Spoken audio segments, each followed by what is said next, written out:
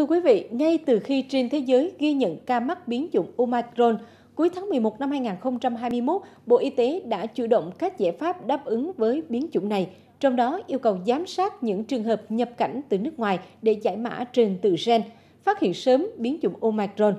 Cùng với các địa phương thì Đà Nẵng cũng đã chủ động triển khai ứng phó với biến chủng này.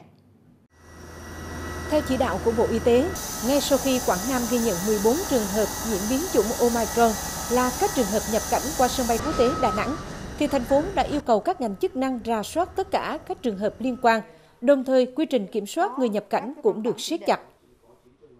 Chúng ta phối hợp rà soát và kiểm tra kỹ đối với các chuyến bay và CDC thì tăng cường cái việc mà gửi các cái ờ, cái mẫu để mà tiếp tục làm cái ờ, giải trình tự gen đối với người nhập cảnh cũng như là đối với cộng đồng. Để chuẩn bị cho kịch bản biến chủng Omicron xâm nhập và lây lan vào thành phố, ngay từ đầu Đà Nẵng đã